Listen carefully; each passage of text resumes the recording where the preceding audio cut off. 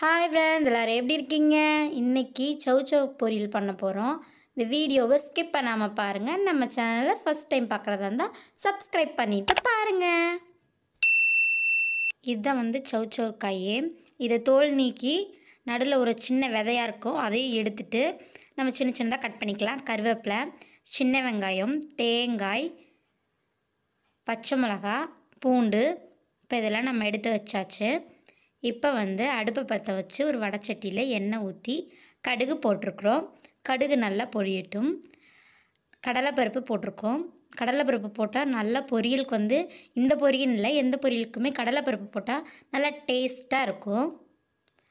எப்பயுமே பொரியல் பண்ணுறப்போ பொறுமையாக பண்ணுங்கள் நல்லாயிருக்கும் நல்லா வந்து பொரியட்டும். பொன்னிறமாக மாறட்டும். அது வரைக்கும் நம்ம கொஞ்சம் வெயிட் பண்ணணும். இப்போ பாருங்கள் நல்லா வந்து பொரிஞ்சு வந்துருச்சு. இப்போ நம்ம வந்து வெங்காயம் சேர்த்துக்கலாம். சின்ன வெங்காயம் சேர்த்துக்கோங்க அதுதான் உடம்புக்கு நல்லது. இப்போ இது ஒரு பத்து சின்ன வெங்காயம் இருக்கும். இப்போ சேர்த்து நல்லா வந்து வணக்கி விடுங்க. இதுவும் நல்லா பொன்னிறமாக மாறட்டும்.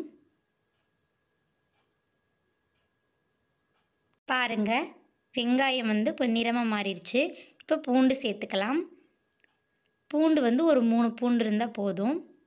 இப்படி நல்லா வந்து சேர்த்து விடுங்க. சேர்த்து நல்லா வணக்கி விடுங்க. இந்த பொரியல் வந்து நான் ஃபஸ்ட் டைம் பண்ணுறப்போ யோசிச்சுட்டு தான் பண்ணேன்.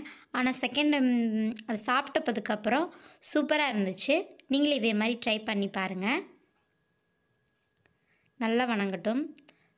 வணங்குறதுக்கப்புறம் நம்ம வந்து பச்சை மிளகா சேர்த்துக்கலாம். இப்போ வணங்கிடுச்சு. பச்சை மிளகா வந்து உங்களுக்கு காரத்துக்கு ஏற்ற மாதிரி சேர்த்துக்கோங்க. எனக்கு ஒன்று போதும். நான் ஒன்று சேர்த்துருக்கேன். உங்களுக்கு வேணால் ரெண்டு சேர்த்துக்கோங்க. இது பெரிய சைஸ் பச்சை மிளகாவாக இருந்துச்சு. காரமும் நிறைய இருந்துச்சு. அதனால தான் நான் ஒன்று சேர்த்துக்கிட்டேன். இதுவும் கொஞ்சம் நல்லா வந்து வணங்கட்டும். எண்ணெயில் கொஞ்சம் நல்லா வந்து பச்சை மிளகாலாம் வணங்கணும். பாருங்கள் பார்க்கவே இவ்வளோ அழகாக இருக்குது வணங்கினதுக்கப்புறம் நம்ம வந்து கருவேப்பிலை சேர்த்துக்கலாம். இப்போ வந்து கொஞ்சம் வணங்கிடுச்சு. கருவேப்பிலை சேர்த்துக்கலாம். கருவேப்பிலை சேர்த்து விட்டு நல்லா வந்து வணக்கி விடுங்க. ஃபஸ்ட்டே நீங்கள் வந்து கருவேப்பிலை சேர்த்துட்டிங்கன்னா அந்த எண்ணெயில் வந்து கருகிரும். அதுக்கப்புறம் வந்து நம்ம பொருள் சேர்க்க சேர்க்க சேர்க்க வந்து கருவேப்பிலை வந்து ரொம்ப கலர் மாறிடும் இப்போல்லாம் வந்து நம்ம லாஸ்ட்டாக சேர்க்குறப்போ நல்லாயிருக்கும் அதுக்காக தான் சொல்கிறேன் இப்போ வந்து நம்ம சோச்சோக்காயை வந்து சேர்த்துக்கலாம். சின்ன சின்னதாக கட் பண்ணிக்கோங்க. ஏற்கனவே இது வந்து நீர்க்காய் வேறு. அதனால் சீக்கிரம் வெந்தும் செஞ்சிடும் அதனால் நல்லா வந்து சுரக்க மாதிரி தான். இது நல்லா இருக்கும் டேஸ்ட்டாக இருக்கும்.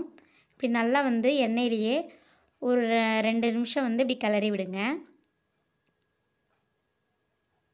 இப்படி நல்லா கிளறி விடுங்க. ரெண்டு நிமிஷம் நல்லா கிளறட்டும்.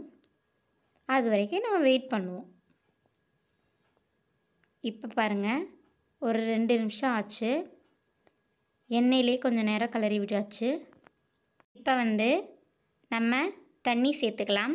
சும்மா ஒரு கால் அளவுக்கு தண்ணி சேர்த்துக்கலாம். நிறைய சேர்க்க வேண்டாம்.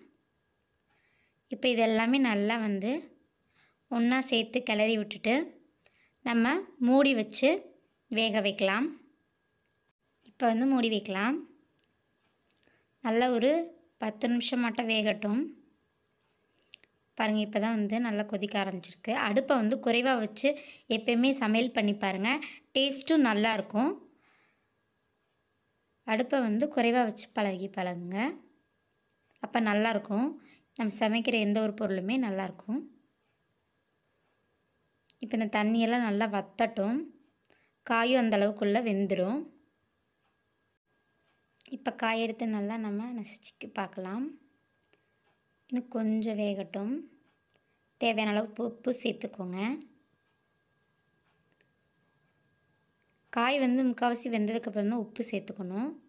இந்த காயின் இல்லை இனிமேல் நீங்கள் பொரியல் பண்ணால் இந்த மாதிரி ட்ரை பண்ணுங்கள் முதல்ல போட்டிங்கன்னா கொஞ்சம் அதிகமாயிரும். அதுக்காக சொன்னேன் இன்னும் வேகட்டும். பாருங்கள் நல்லா வந்து வெந்துருச்சு.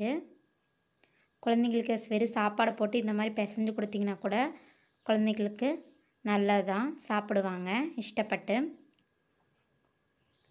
இப்போ வந்து நல்லா வந்து வணங்கிடுச்சு இப்போ வந்து தேங்காய் சேர்த்துக்கலாம். உங்களுக்கு தேவையான அளவுக்கு தேங்காய் சேர்த்துக்கோங்க. தேவையான அளவுக்கு. நான் கொஞ்சோன்னு எடுத்துக்கிறேன். இல்லை வேண்டான்னாலும் தேங்காய் வந்து நீங்கள் ஸ்கிப் பண்ணிக்கலாம். அது இல்லாமல் கூட இப்படியே வந்து வணக்கி கொடுத்துக்கலாம். நல்லா டேஸ்ட்டாக இருக்கும். சோச்சோ பொரியல். தேங்காய் போட்டதுக்கப்புறம் ஒரு ரெண்டு நிமிஷமாச்சு அந்த எண்ணெயில் வந்து நல்லா வந்து கிளறி விடுங்க.